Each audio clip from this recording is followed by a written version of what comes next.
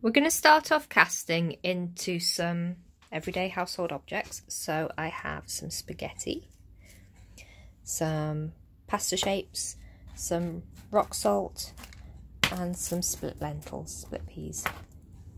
I've got some scrap metal, I've got my borax, I have ooh, my ventilator mask, I've got my little extractor which I'm going to put on.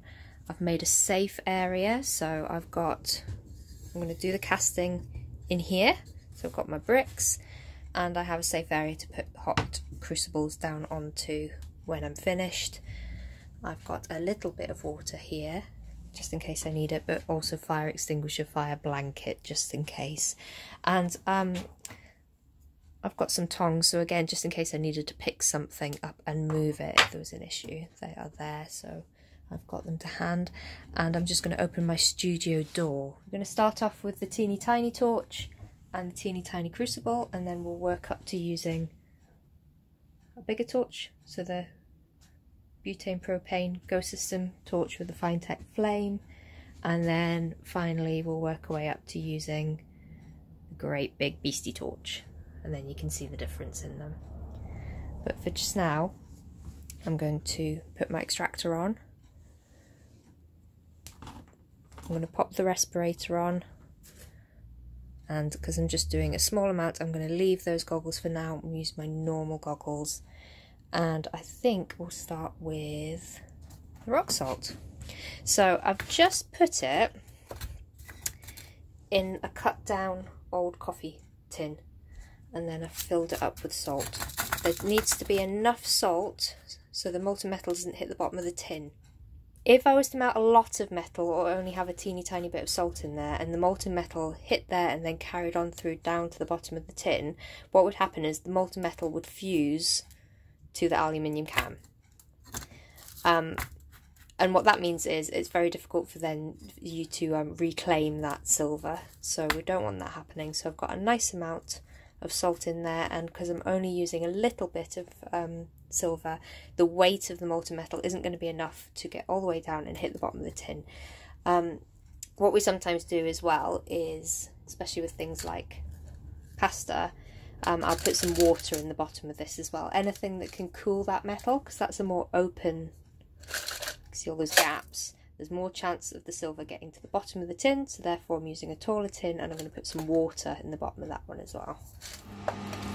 I've put some scrap silver in my crucible. I'm just using the little one. I'm going to start off with the little torch. I've fluxed it, so I've put some borax on it. I light my torch. And I'm going to heat this silver. Because I'm using a small torch, it's going to take a little minute. That one's starting to go.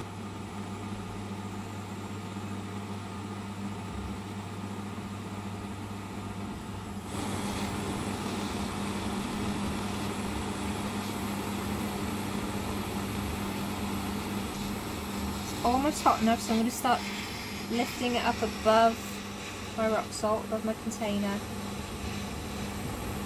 Tip it slightly so the channel is above the container. Keep heating.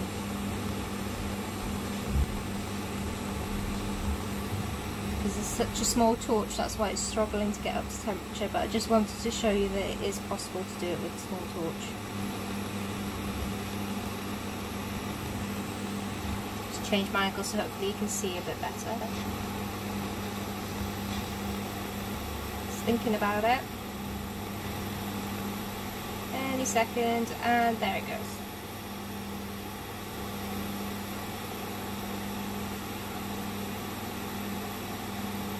Next bit. There we go.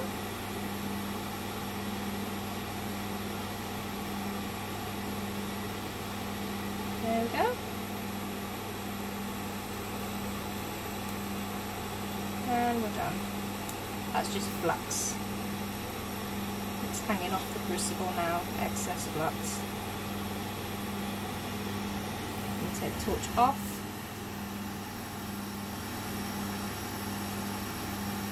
And place it on a heat-proof surface.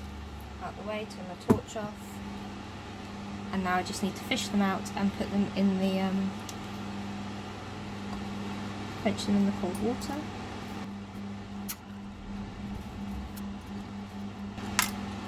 I'm going to get the excess salt off, clean them up and show you how they came out.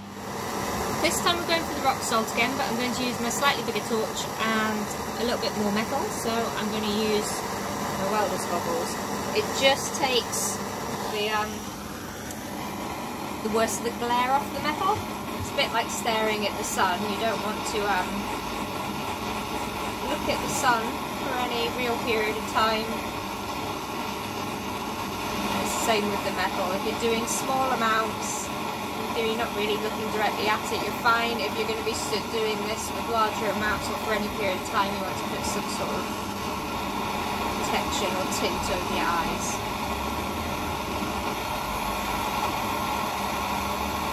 See how much quicker the metal's already melting?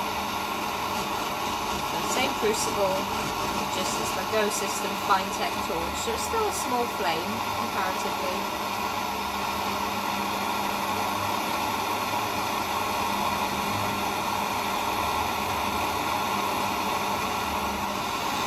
Starting to get there.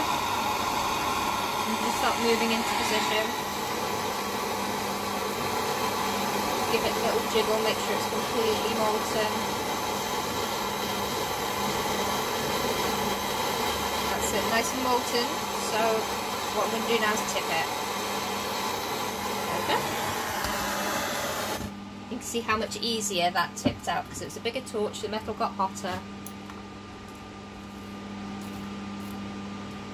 Came out in one bit, quench it in cold water on a cool surface and again I just need to pick the excess salt out and pickle it and I'll show you how it turned out. As your crucible starts to cool, the borax in it starts to harden and it makes these little tinkly cracking noises which is normal. Um, and like I say, it should be the borax, not your actual crucible making the noise um, but it's still a good idea just to make sure you keep your eye protection on just in case a little bit of that glassy residue did go ping at any point.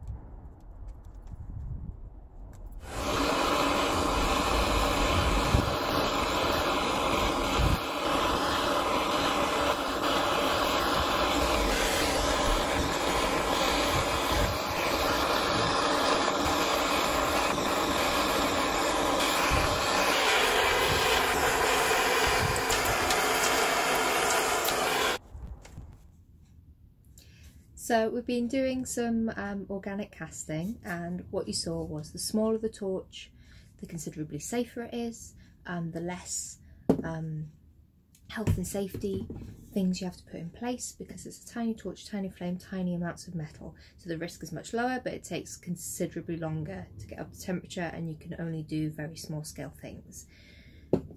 If you're using a great big torch, then the health and safety risk is much bigger, the fire risk is much bigger. We need to have a completely clear area, um, which is why I took it outside to do it. Because even in here, when we're that close to the wall, when I'm on my own, and also trying to operate a camera, it's just, it wasn't safe. Normally when we use this torch, it's a two person job, so one person holds it and then the other person holds the um, crucible and does the pouring so that we've got two hands on the job and can really pay attention to the specific tasks that we're doing. Started off casting into rock salt and got these little,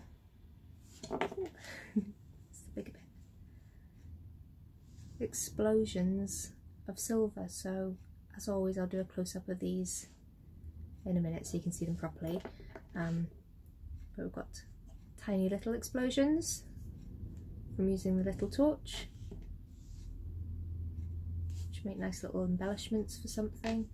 There's a slightly bigger one that came out and then a bigger one from using my bigger torch. So you can see it's possible with both to get the big shapes you need more metal, more heat, more danger, um, small scale, a lot easier. Then we had some um, lentils, some split peas, and that gave, see this? These sort of pitted shapes. It reminds me of some of the pebbles you get at the beach sometimes. It's got those little recesses in the shape of lentils. So the molten metal's taken on that form. And then had some pasta, curly one. So this was the one that had the gaps between it, so it wasn't as densely packed. So we put some water in the bottom to stop the metal hitting the bottom. And you can see, because it had the gaps and wasn't as densely packed, the metal has flowed more through the pasta. So again, there's a larger one and here's a little small one. We've got some nice interesting shapes. And then one of my favourites is spaghetti. So this is the one that's like similar to broom casting that you see a lot of in America. And this is the one that gets these amazing sculptural forms. So again, that's the big bit that I did outside with the big torch. But you can do smaller ones, smaller amounts with the Go System torch or teeny tiny ones. With the teeny tiny torch. So let's say it is possible, very small scale, much safer, but if you want to get the great big sculptural forms, just make sure you take all those health and safety considerations um, on board and have a plan and make yourself a safe space to do it. Forgot about the water. So the water casting makes these little cup shapes.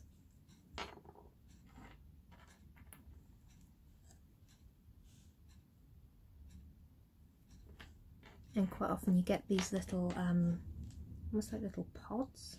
So again, oh, I'll do a close up. But it's these little pods that I made this ring from. And um, I'm going to make a piece of jewellery from at least one of the pieces that are cast today. I quite like this explosion piece. I think I might set a stone in it and make it into a statement necklace or something similar. So this is the explosion of silver made with the rock salt. See, it's got absolutely tons of texture to it. Pick up. And it's taken on, you can see where it's dripped in between the um, salt crystals. So that's the big one. There's a slightly smaller one.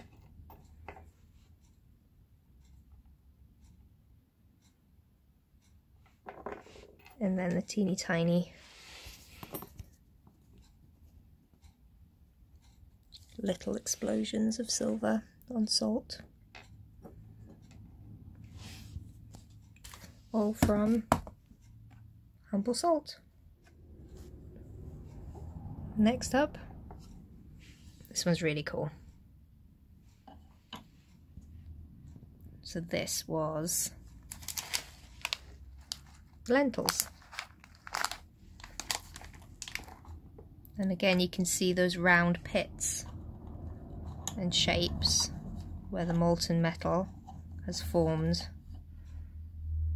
to the round domes of those lentils. Nice shiny back on it. So that one's come out quite nice. And then the pasta. This was this. And that's where the metals fallen through in between the gaps of the pasta make these cool shapes. A little small one.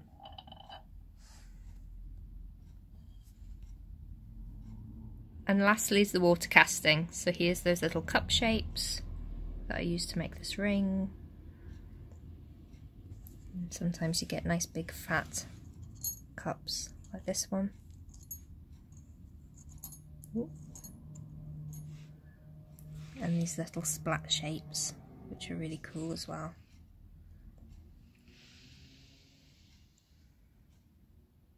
So this is a really fun technique where you get to play and melt things.